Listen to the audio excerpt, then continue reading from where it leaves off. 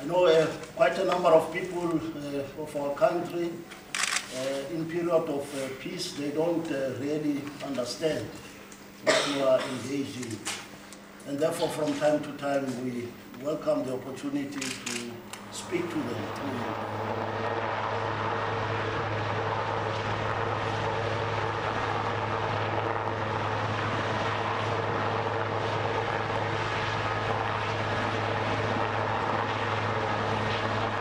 Utilizing uh, uh, this exercise, exercise Young Eagle, also as part of uh, our preparations uh, for, for exercise uh, Amani. Because ex- exercise Amani actually is an AU exercise that partly serves to also check the progress that is being made towards the operationalization of the Africa Standby Force.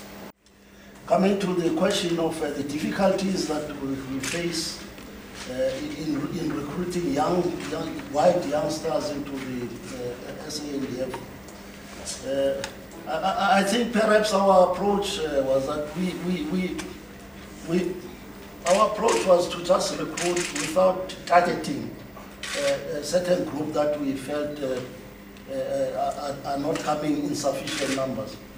So, so, so to correct that, uh, we've uh, decided that we'll be embarking on targeted uh, recruiting to ensure that we, we can be able to recruit uh, young whites.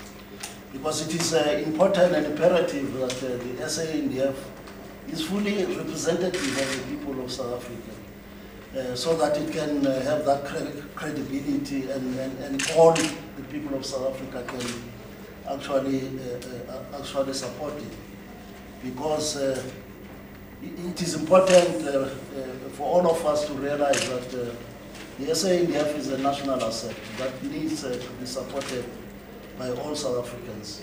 So if there's a group that feels they're not properly represented and therefore they, they, they, they may feel alienated from the institution, whereas in our recruitment we don't discriminate against any race.